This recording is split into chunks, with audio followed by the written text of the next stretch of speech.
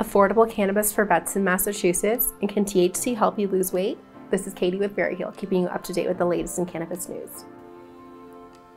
A new study suggests that frequent cannabis use promotes a lean physique. Researchers at the University of California compared the body mass of two groups of mice. One group was exposed to THC as adolescents, the other group was not. Researchers found those that were exposed to THC displayed less fat mass and more lean mass. These mice were also more resistant to obesity and high blood sugar. They also had warmer body temperatures than the THC-free mice, and were less capable of using fuel from fat stores. On a molecular level, it was discovered that the THC mice were less able to use stored nutrients for muscle activity. While this study provides some interesting discoveries, more research is needed to fully understand the physical and mental effects of long-term cannabis use.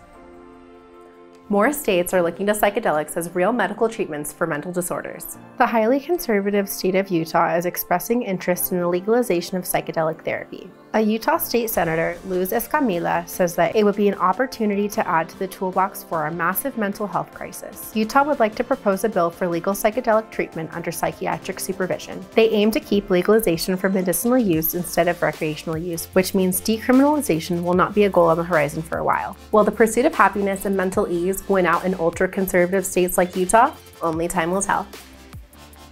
Massachusetts considers removing the registration fee for veterans who are trying to use the medical marijuana program. The state's Cannabis Control Commission discovered that despite the state's large population of veterans who would qualify for medical, many are not in the program. Part of the issue is that many use a Veterans Administration facility for their health care, and due to the federally illegal status of cannabis, they cannot get medical marijuana through these facilities. Another issue is the cost of certification for a med card. Many of these veterans are surviving off a fixed disability income, making it difficult to afford the medicine they need. Currently, many veterans are prescribed opioids to combat chronic pain, but the risk of addiction with these drugs outweighs any benefits. Many believe that medical marijuana is the better solution. Now it's about taking the necessary action to make it happen.